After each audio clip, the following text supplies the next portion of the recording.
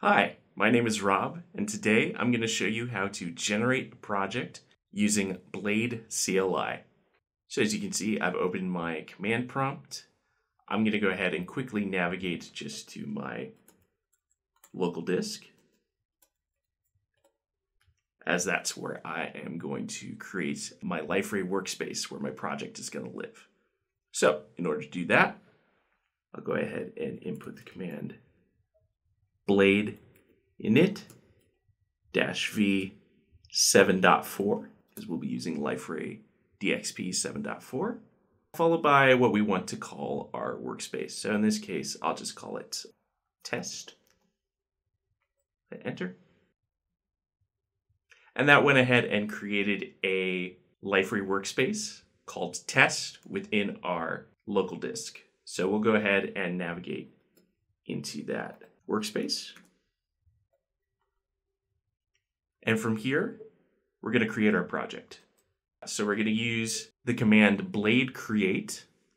And the different sections of this command refer to different things. So dash T specifies the project template we're going to use, in this case, MVC portlet.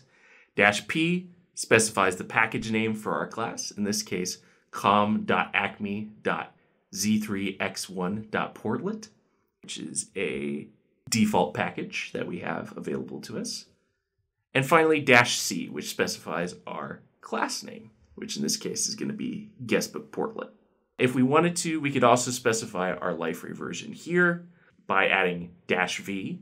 However, we don't need to do that in this case because our uh, project will be created using the default version set forth by our Liferay workspace. So I'll go ahead and hit enter and generate that. And as you can see, it says we've successfully created our guestbook project. So we can go ahead and look in our local disk. And we should be able to see, yes, in fact, our project has been created. So there you go. We've successfully created a project using Blade CLI. Looking for more information on this topic or others?